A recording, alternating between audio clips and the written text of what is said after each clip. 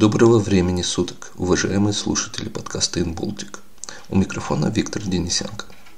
В сегодняшнем выпуске серии «На том же месте» речь пойдет о Всесоюзном научно-исследовательском институте энтимологии. Он был основан в Вильнюсе в 1975 году. Институт успешно пережил все политические перемены. Он действует и сегодня под именем Института биотехнологии Вильнюсского университета. Как вспоминает долголетний сотрудник института Гервидас Денис, создание подобного института именно в Литве в то время обусловил ряд обстоятельств. Много обстоятельств сыграло роль туда. Более, более такие официальные обстоятельства, это то, что у нас была специальность в университете биохимия. И в то время в Советском Союзе было только Москва, Ленинград, Киев и еще Средняя Азия в Самарканде. Вильнюс был пятый город, в котором был, была специальность университета биохимия. Это важно, потому что такие, эти люди нужны там были. Известно, что далеко не все бывшие советские предприятия сумели приспособиться к новым условиям после восстановления независимости Литвы. Институт выжил, хотя с определенными трудностями столкнулся и он рассказывает Гервидас Денис. Ну, он э, пережил нелегко этот начальный период, потому что когда Литва независимость получила, институте нашем было около 800 сотрудников, и почти половина из них должна была куда-то уйти, эмигрировать или в те другие работы пере, переходить. Но э, сохраниться как, как учреждению помогло уже то, что был задел за эти годы, когда институт существовал. 15 лет, уже был экспорт наших, наших продуктов. В разные страны, были контакты, ну и главные были люди, которые э, это активно, активно вели. Личность была самое главное тогда чтобы сохранить. Говоря о биоразработках, трудно обойти вниманием тему биологического оружия. Мы задали своему собеседнику вопрос о связи института в советские времена с оборонной промышленностью. Он был гражданским, такой прямой связи не было. Но мы знали, что где-то ведутся работы по, такой, по, по, по этой проблеме, в этой системе нашей, потому что в Москве было создано Главное управление продуктовой промышленности, которое мы принадлежали.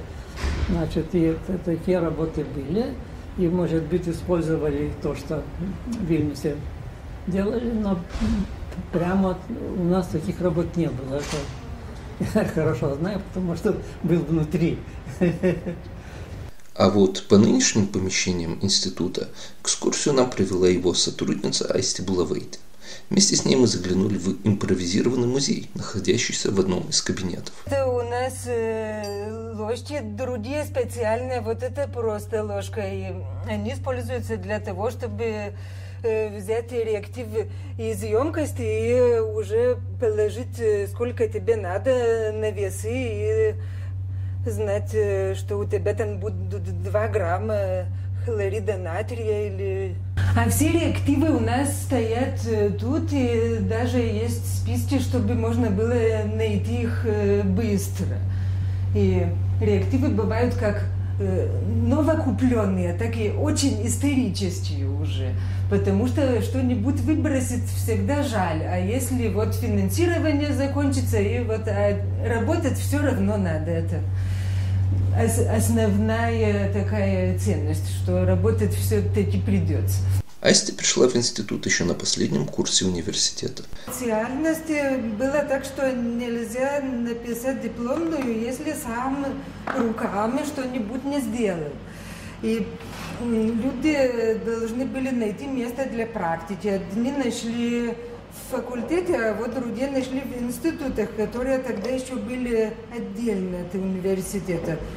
Ну вот, и я в этом институте биотехнологии работала с четвертого курса. Я сперва просто училась, работать меня учили, а потом я уже э, уже была и принята на работу довольно скоро. И, вот так потом и работала. А если помните старое здание института и может оценить преимущества работы в новом? Тут, наверное, лучше всего то, что э, все это поближе к городу. Э, там э, прежнее место по тем временам, э, там у нас все тоже было неплохо, но тут, конечно, все уже тоже сделали неплохо. Вот тут у нас и воздух поступает снаружи, а окон в самой лаборатории нету, чтобы там уже э, ни, ничто не летало туда-обратно. Тут у нас здание, конечно, новое, но как-то у нас многие сотрудники, ну, они не горели желанием куда-то переселяться. Им там тоже было неплохо.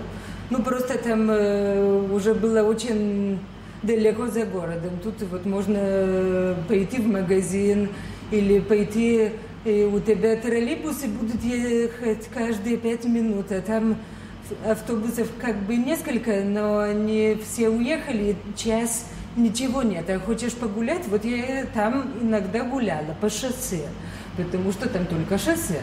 А тут, если хочешь, уже можешь гулять по красивому э, району и наслаждаться городом. На этом все. Спасибо, что были с нами. Встретимся в новых выпусках подкаста «Инболтик». У микрофона работал Виктор Денисенко.